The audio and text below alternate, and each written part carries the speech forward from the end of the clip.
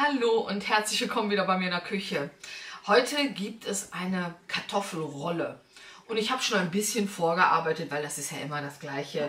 Ich habe ja meine neue Liebe, den äh, Krups Formie, in dem ich auch immer meine Kartoffeln jetzt koche. Und ähm, das sollte tatsächlich auch schon, also bei mir ist es jetzt noch morgens, ich mache das erst heute Mittag, aber ich habe schon sehr früh heute Morgen meine äh, acht Kartoffeln, ähm, das war knapp ein Kilo fest, äh, vorwiegend festkochende Kartoffeln. Äh, die habe ich schon gekocht zu Pellkartoffeln und habe die jetzt gerade, also ein bisschen abkühlen lassen, weil ich einfach nicht so gut ja, heiß anfassen kann. Und ähm, ja, zerdrück mir die jetzt noch, ähm, einfach damit es nicht zu matschig wird. Es soll äh, ja natürlich eine Kartoffelmasse werden, damit wir diese Rolle machen können. Also nicht wir machen die Rolle, sondern die Kartoffel macht die Rolle. Äh, aber ähm, es soll auf gar keinen Fall jetzt wie Kartoffelpüree so schleimig oder so werden. Da kriegen wir das natürlich überhaupt nicht gerollt. Also deswegen, oh, die sind gar gekocht, aber dadurch, dass sie schon ein bisschen abgekühlt sind, äh, lassen sie sich natürlich ein bisschen schwieriger hier durchpressen. Ja. Aber es geht. Sie sind ja halt vorwiegend festkochend, deswegen ist es ein bisschen schwieriger. Nun muss ich sagen, in der letzten Zeit habe ich diese Kartoffelpresse wirklich oft benutzt und hat die sich wirklich bezahlt gemacht. Habe ich mal irgendwie gekauft bei Teddy für 5 Euro. Also kein, oh, keine Rieseninvestition.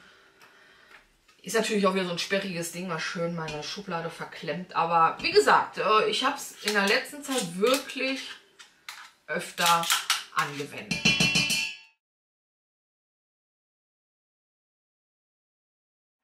Meine Kartoffeln hatten also jetzt schon Zeit hier abzukühlen. Die kommen aber erst gleich dran. Erstmal geht es hier weiter mit den äh, Zwiebeln und dem Knoblauch.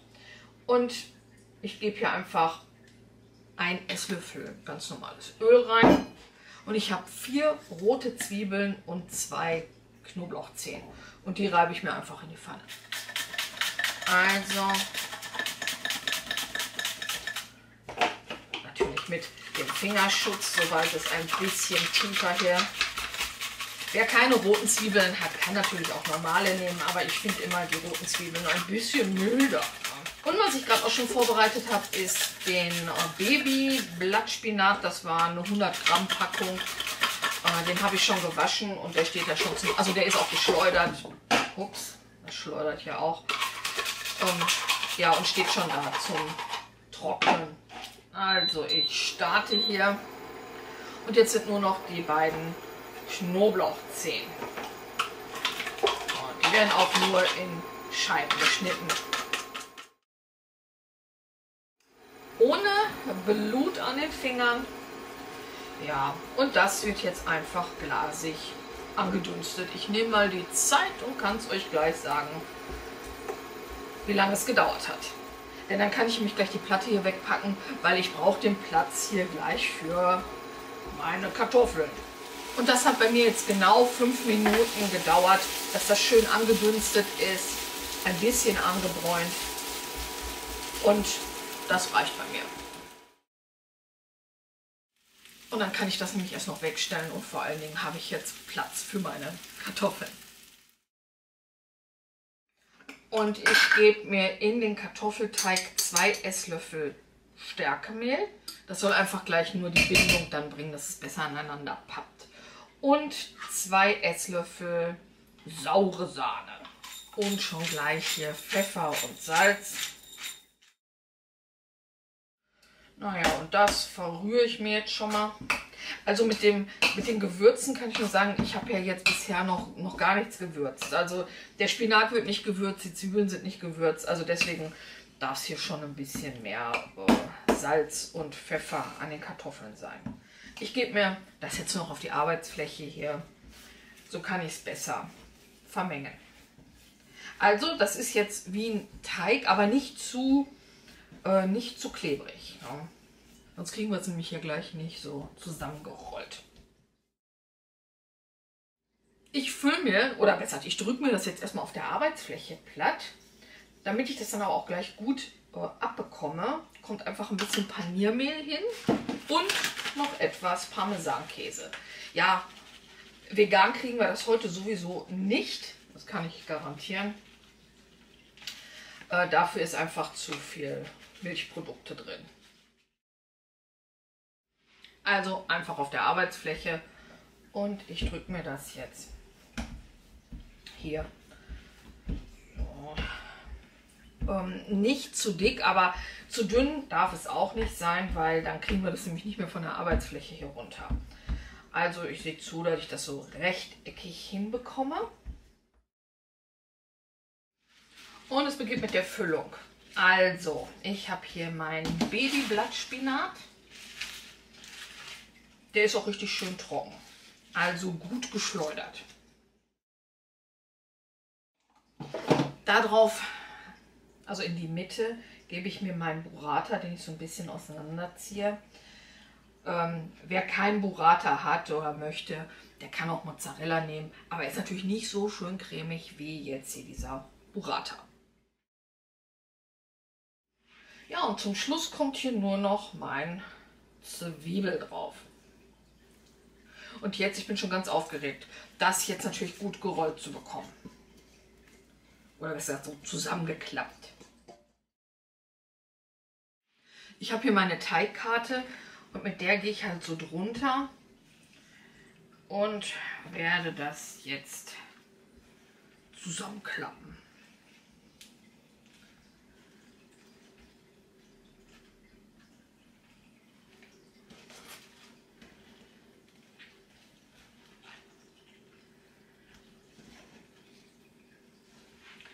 So, das muss schon eher geformt werden. Also mit dem Rollen, das klappt sicherlich nicht so. Also, das wird hier gut zusammengemengt. Naja, wenn da irgendwo noch ein äh, Spinatblättchen rausguckt, das ist jetzt auch nicht weiter dramatisch.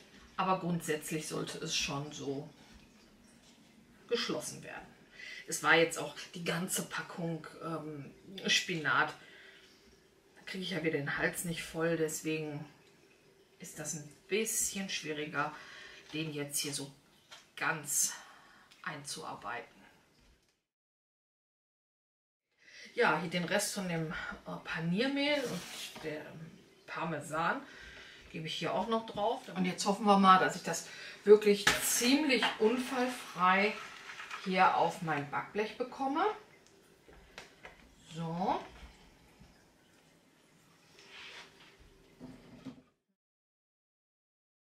Aber ich bin ganz froh, dass ich es so wirklich runterbekommen habe. Ja, hier mal noch mal ein bisschen nacharbeiten. Es ist wirklich nur noch vereinzelt, dass da jetzt ein bisschen Spinat rausguckt. Aber das ist okay so. Ich beträufe mir das nur noch ein bisschen mit meinem Chili Knoblauchöl. Ja, das ist schon ganz schön scharf. Deswegen, also bei Kindern vielleicht einfach nur ganz normal mit Olivenöl. Oh, das verpinsel ich mir jetzt hier noch. Das ist einfach nur, damit es schön saftig bleibt und äh, nicht so austrocknet. Und das kommt jetzt bei 180 Grad in den nicht vorgeheizten Backofen, Heißluft, mittlere Schiene. Und ich stelle mir 30 Minuten ein. Äh, sollte es zu braun werden, ähm, mit Backpapier einfach nochmal abdecken. Aber ich glaube, also es soll ja, es soll ja schön anrösten, aber natürlich soll es nicht äh, verglühen förmlich. Ja, also, das geht jetzt in den Backofen in einer halben Stunde. Ja, gucken wir mal, was raus geworden ist. So, ich muss sagen, die halbe Stunde ist jetzt rum, aber das ist mir noch nicht äh, braun genug. Ich hätte es gerne noch ein bisschen mehr gebräunt, deswegen werde ich da wohl noch eine Viertelstunde jetzt zugeben. Also insgesamt eine Dreiviertelstunde. Also wie bereits angekündigt, eine Dreiviertelstunde habe ich es drin gelassen. Jetzt ist das hier auch schön knusprig und ich sehe hier auch, wie der Burrata drin zerlaufen ist. Gut, der Burrata braucht nicht viel, um zu zerlaufen, aber ja, es sollte nicht wie möglich sein. Ja, jetzt wird es natürlich noch ein bisschen tricky hier, das rüber zu bekommen. Also das ist mir zu gefährlich. Also das klappt im Ganzen wirklich nicht. Das würde nur äh, auseinanderbrechen. Ja, jetzt versuche ich natürlich das ein bisschen zu zerschneiden, ohne auf der Backmatte zu schneiden. Da ist natürlich nichts drin, was jetzt irgendwie, wer weiß wie hart wäre, um es durchzuschneiden. So, jetzt gucken wir nochmal.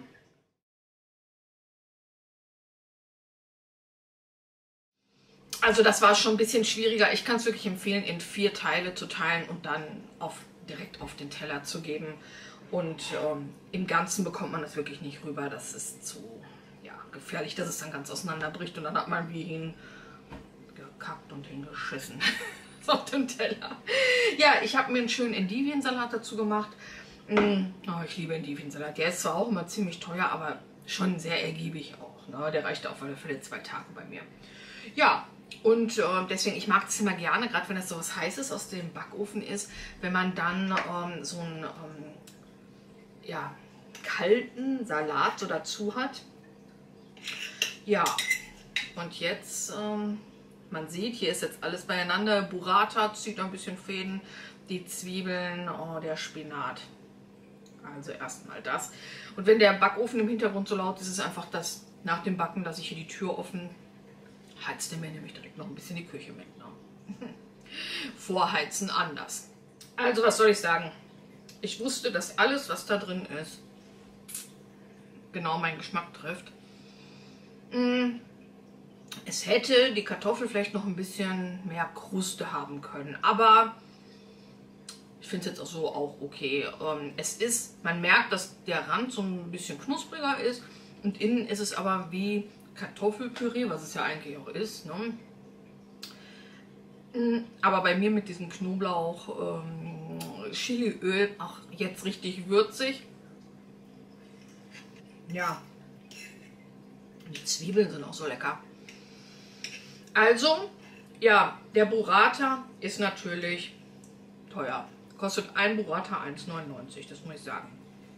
Und das ist schon hier diese No-Name-Marke von Edeka.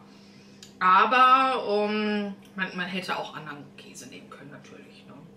Aber ansonsten, die Kartoffeln, der Spinat war auch im Angebot für 1,11. Auch da könnte man natürlich aufgetauten, gefrorenen äh, Spinat nehmen. Den habe ich zum Beispiel die Woche für 77 Cent, äh, die Edeka-Marke, äh, im Angebot bekommen. Also, ja, und die Kartoffeln ja, und viel mehr ist jetzt gar nicht, ja gut, Zwiebeln, ja, Zwiebeln. Aber die sind ja Gott sei Dank auch noch nicht so teuer. Und da kann man auch weiße nehmen. Also grundsätzlich ein günstiges Gericht. Hm, ich würde aber nicht sagen ungesund, weil, ja, es war jetzt auch nicht mal viel Fett dran.